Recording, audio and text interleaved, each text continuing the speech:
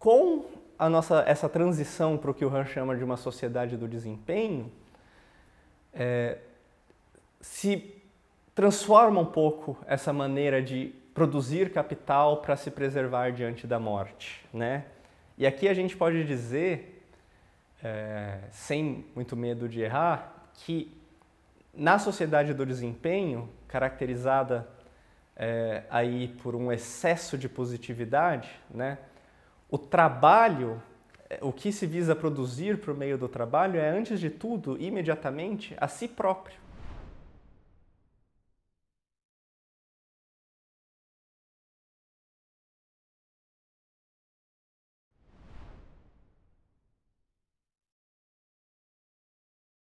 Eu sou Lucas Machado, professor de História da Filosofia pela UFRJ, doutor em Filosofia pela USP. É, também sou o atual diretor da Associação Latino-Americana de Filosofia Intercultural e um dos tradutores da obra do Han no Brasil. Esse é o nosso curso é, para repensar o mundo humano, uma introdução à filosofia do Byung-Chul Han. E a ideia aqui é fazer uma breve apresentação da filosofia do autor, na maneira com que ele pensa a nossa vida sob o capitalismo, mas também outras formas de vida possíveis, né? Que tipo de vida seria uma vida para além das demandas do capitalismo hoje? Né? Bom, então, uma das principais características aí, talvez, da, da filosofia do Han, um problema com que ele está sempre se debatendo, é de tentar caracterizar o que seria, afinal, a, o nosso modo de existência sob o capitalismo, né? De que maneira operaria a existência segundo a lógica capitalista, né? Esse é um dos grandes problemas com que ele se ocupa na sua filosofia. É, e o nome que a gente poderia dar para esse modo de vida sob o capitalismo, de uma maneira geral, seria de existência econômica. Né? É, e o Han, em diferentes momentos, diferentes fases da sua filosofia, ele está de todo modo sempre preocupado em mostrar como essa existência econômica opera. Uma das formulações é, fundamentais que o Han sempre usa para se referir ao capitalismo é que é essa ideia de que mais capital equivale a menos morte. Né? O que, que isso significa exatamente? Em certo sentido, o Han enxerga o capitalismo e o modo de vida sobre o capitalismo basicamente como uma luta contra a morte, a morte sendo entendida justamente como aquilo que nega a minha existência, né? a minha, o meu modo de ser, a minha identidade enquanto indivíduo. Né? De alguma maneira, então, é, o propósito da vida sob a vida sob um regime capitalista é preservar a si mesmo tanto quanto possível diante da morte, né? É tentar prolongar a sua existência tanto quanto possível e sempre tentando mantê-la idêntica a si própria, porque o que interessa é que você preserve a si mesmo, né? E isso se faz, isso se busca fazer pelo menos, acumulando capital, porque afinal a capital são os recursos, os elementos que te permitem de alguma maneira é, mobilizar as coisas em função da sua própria existência. Né? É, nesse sentido, em diversos momentos da sua filosofia, o Han também insiste que é, economia vem de oikos, né? do grego oikos, que significa casa, e do nomia aí, né, que teria essa ideia de manutenção de alguma maneira, manutenção da casa, né? Mas o que, que significa nesse, nesse contexto a manutenção da casa? Significa a preservação desse espaço que é o meu espaço, o espaço da minha existência, onde eu levo a minha existência, que é o espaço dedicado a ela e à preservação desta existência que é a minha, né? É... E para essa manutenção da casa, justamente para essa manutenção do meu espaço, o que o indivíduo, sob esse regime, esse modo de existência capitalista faz é acumular capital, né? Ou seja, capital como justamente essa transformação do outro, de outras existências, em, um, em uma ferramenta para dar continuidade à minha própria, né? É, essa é a grande característica comum geral que a gente poderia dizer é, por meio da qual o Han analisa o capitalismo nas diferentes fases, nos diferentes momentos da sua filosofia. Né? Por mais que ele, essa filosofia passe muitas vezes por mudanças significativas no uso que faz de alguns vocabulários, como por exemplo de negatividade, de positividade, de si mesmo e assim por diante, é, algo permanece, permanece invariável no, no, diagnóstico do Han, que é essa ideia de que o capitalismo, seja é, qual forma, seja lá qual for a forma que ele adquire, é sempre uma luta contra a morte, é sempre essa busca de preservar a sua própria existência idêntica a si mesma, né? Manter, preservar um, um, um senso de uma identidade própria da sua, da, e dessa identidade da sua existência como sendo aquilo em função de que tudo tem que girar na sua vida, né? Essa autopreservação. E aí, de que maneiras o Han analisa então? Porque a, a, a gente está vendo o que seria o objetivo desse modo de vida, né? Que seria se preservar a todo custo. Mas quais seriam as maneiras por meio das quais o, o aquele que leva a uma existência econômica, né, ou simplesmente a existência econômica de uma maneira geral, é, buscaria preservar a sua própria existência? Né? De que tipo de estratégias, de que tipo de atividade ela se valeria para fazer isso? Tem duas explicações diferentes do Han em duas fases diferentes da sua filosofia, que correspondem também a dois momentos distintos na própria sociedade em que o, que o Han está analisando. Né? Em um primeiro momento, nos livros antes da Sociedade do Cansaço, que é o grande marco aí da filosofia do Han, né, ele considera que o principal modo da existência econômica dar continuidade a si mesmo é por meio de, daquilo que nesse contexto ele chama de uma certa negatividade. Né? O que, que significa essa negatividade nesse contexto? Significa estabelecer limites rígidos que separam eu do outro, né? E que preservam o espaço da minha existência, da minha identidade em relação ao outro, né? Ou seja, é criando esse espaço, esse espaço da casa, justamente, né? Lembremos lá do oikos, esse espaço que é dedicado à minha existência, à preservação dessa existência e à preservação da identidade dessa existência comigo mesmo, é, consigo mesma, né? que leva aí a operar de modo a deixar do lado de fora tudo aquilo que não corresponde a essa identidade, tudo aquilo que possa ameaçá-la, tudo aquilo que possa transformá-la, comprometê-la. Deixá-la de lado, deixar do lado de fora, portanto, o outro, né? Aquilo que se coloca como uma outra existência que poderia me descentrar da minha própria, né? E fazer com que a minha própria existência se voltasse a algo outro que não a sua própria preservação. Nesse contexto, então, o que, o que ocorre nessa maneira de proceder, da, da perspectiva do Han, é uma busca de estabelecer um limite rígido né, entre o eu e o outro, mantendo o outro do lado de fora e criando assim um espaço de transcendência do eu, né? É, pode parecer estranho falar isso nesse, nesse contexto em que a gente está falando do capitalismo como algo que né, tem uma, uma, evidentemente uma base material muito forte, mas a transcendência aqui se refere ao fato de que, segundo essa maneira de proceder, o que interessa para o sujeito é constituir um espaço no qual ele se relacione apenas consigo mesmo e que, portanto, não esteja situado no mundo, como nós geralmente o compreendemos, certo? Porque o mundo é justamente esse lugar em que nós nos relacionamos com tudo aquilo que está lá fora, né? Com o outro, com os outros objetos, com as outras coisas, com os outros é, animais, seres humanos e assim por diante, né?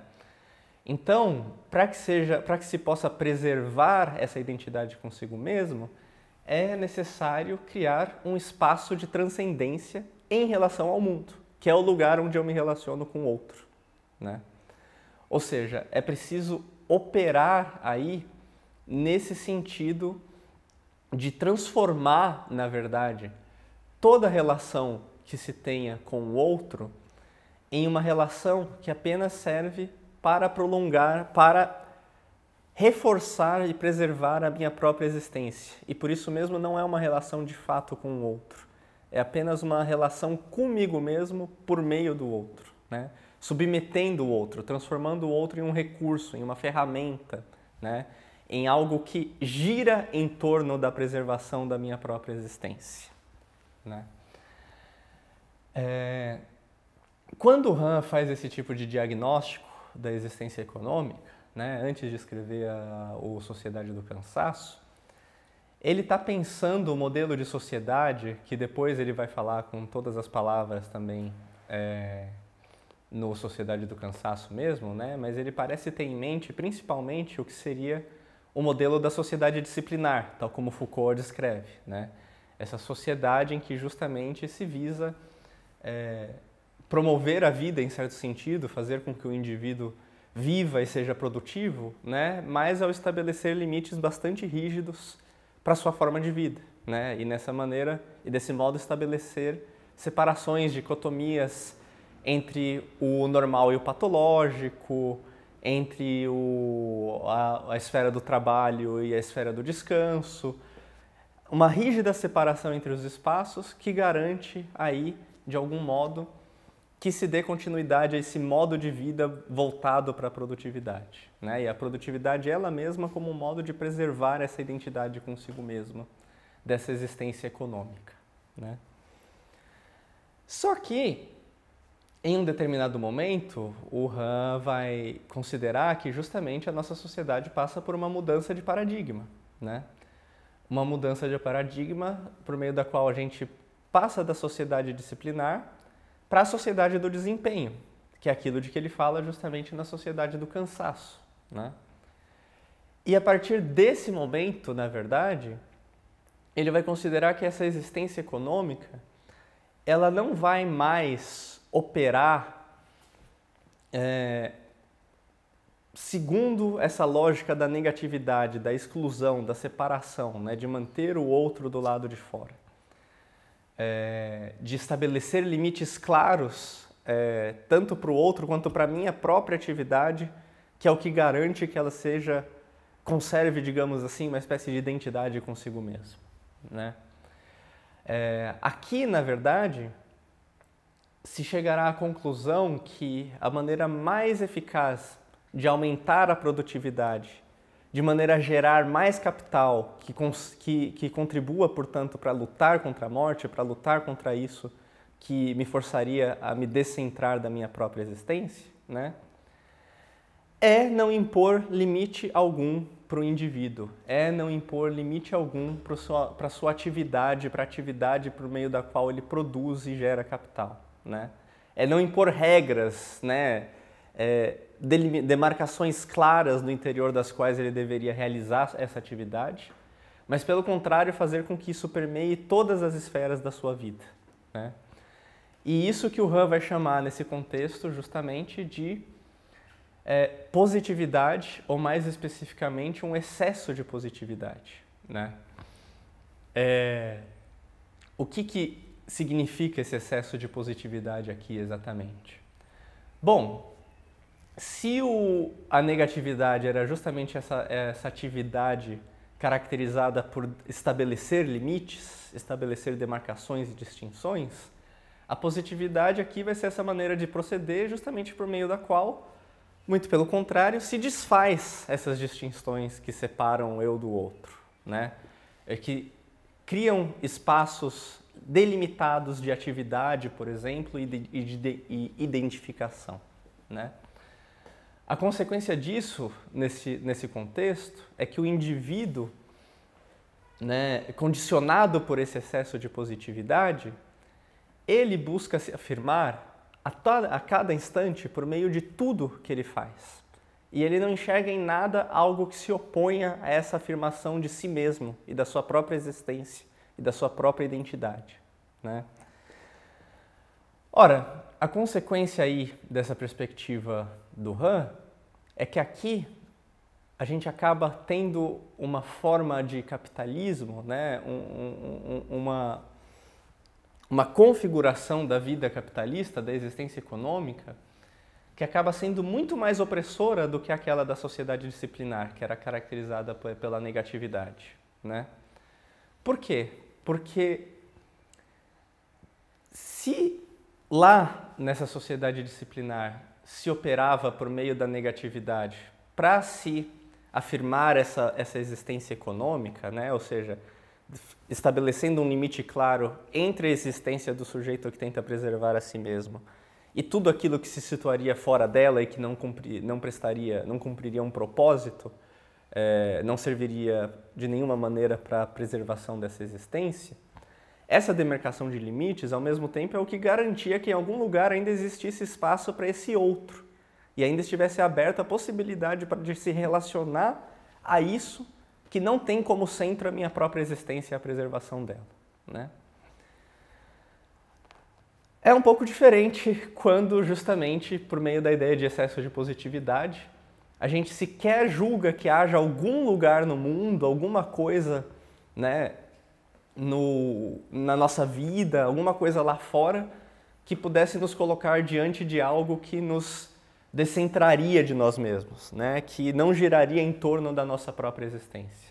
Porque a partir de agora, na verdade, a gente não vê limites que separem eu do outro, mas de tal maneira que faz justamente que eu identifique todas as coisas como cumprindo, servindo ao propósito de preservar a minha própria existência, de afirmar a minha própria identidade de por meio delas eu me confirmar naquilo que eu sou, né?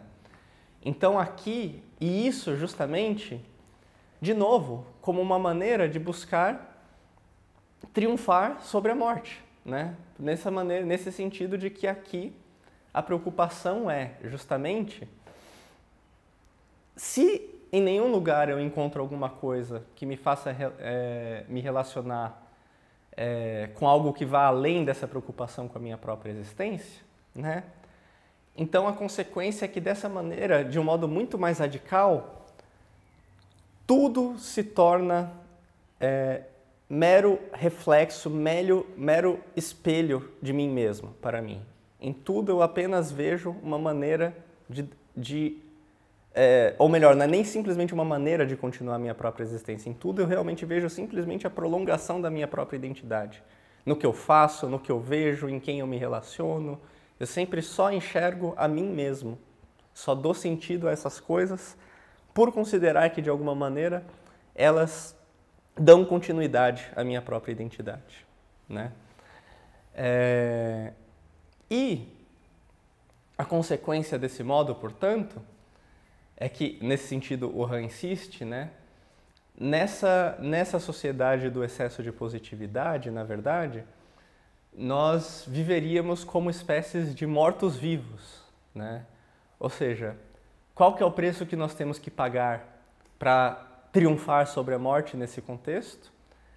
É nós vivermos de um modo que exclui inteiramente a relação com o outro e que faz com que em todo lugar não seja possível nós transformarmos quem nós somos, é, nós nos colocarmos diante de uma experiência transformadora que nos descentra, porque em tudo a gente sempre encontra de novo a mesma a, a mesmo modo de existir, a mesma preocupação com se afirmar e se afirmar através do outro, e portanto a gente se encontra naquilo que o Han chama de inferno do igual, né?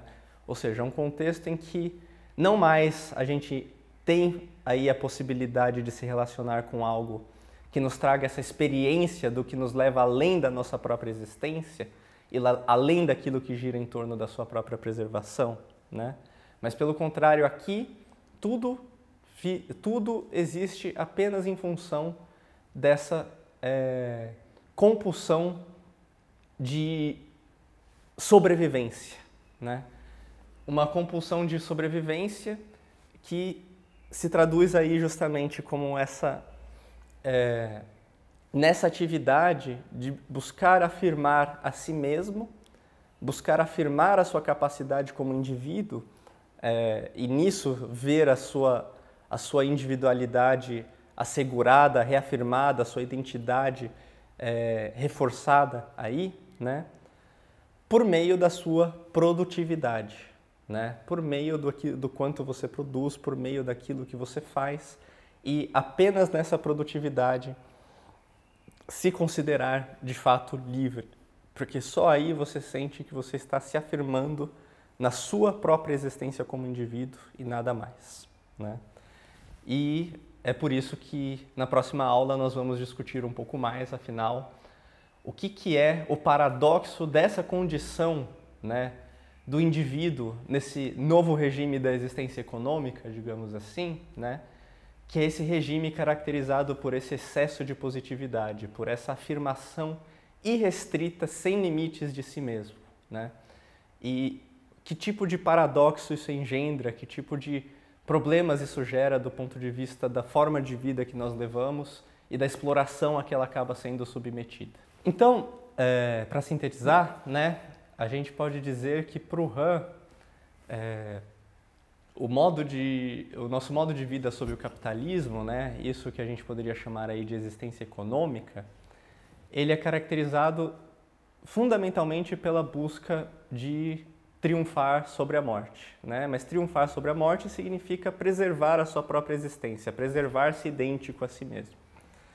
E a maneira fundamental de se fazer isso, vale a pena salientar aqui, é justamente o trabalho, certo? É por meio do trabalho que, de alguma maneira, eu garanto os meios para minha existência, para minha subsistência, na verdade, né?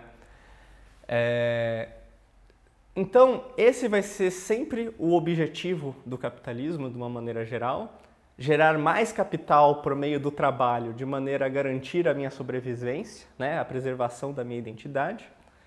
Mas os mecanismos por meio dos quais ele vai operar para realizar isso se configuram, se, se transfiguram ao longo do tempo. Né?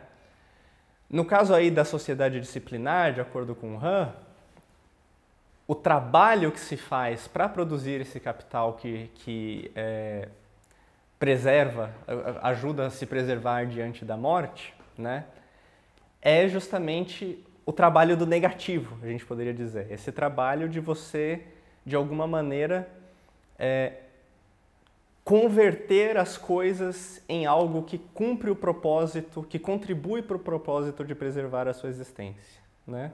E aí é um trabalho nesse sentido até um pouco mais, mais corriqueiro, que a gente está habituado. Então, sei lá, se você, por exemplo, quer precisa se aquecer no inverno, você corta uma árvore e faz lenha, porque a partir disso você transforma essa outra existência em uma coisa que está ali e que, que passa a cumprir, existir ali de uma maneira que serve unicamente a cumprir o propósito de garantir que você continue existindo aí, né? Cumprir um propósito para a sua vida, né? É...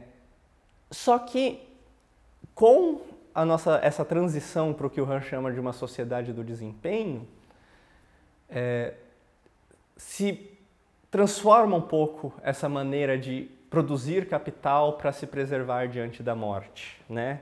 E aqui a gente pode dizer, é, sem muito medo de errar, que na sociedade do desempenho, caracterizada é, aí por um excesso de positividade, né? O trabalho, é, o que se visa produzir por meio do trabalho é, antes de tudo, imediatamente, a si próprio, né? Produzir essa afirmação de si mesmo, que é uma coisa que a gente vê. O maior exemplo disso, é claro, é, seriam as redes sociais, certo? Na rede social, aquilo que você está produzindo já é imediatamente a si mesmo, uma imagem de si mesmo, né? um, um, um, uma, um recorte de si mesmo, uma aparência de si mesmo, que é aquilo por meio do qual você espera dar continuidade à sua própria existência. Né? Então, se note, inclusive, que nesse tipo de trabalho já não se passa mais por essa mediação é, com um outro que primeiro oferece alguma resistência e que por isso mesmo me força a me relacionar com ele, para que então eu o converta em algo que pode é, servir ao propósito de é, prolongar a minha existência. Né? Não, aqui a, a produtividade é uma maneira de me relacionar diretamente comigo mesmo e com a minha própria existência e de produzi-la continuamente, sem que exista nada mais além disso. Né? E por isso mesmo acaba sendo, da perspectiva do Han, é, uma maneira, uma forma de capitalismo muito mais eficaz, né, em sua demanda de produtividade, justamente em sua demanda de triunfar sobre a morte, mas também ao mesmo tempo muito mais exploratória né, que de, depredem, em certo sentido, de uma maneira muito mais profunda a existência humana.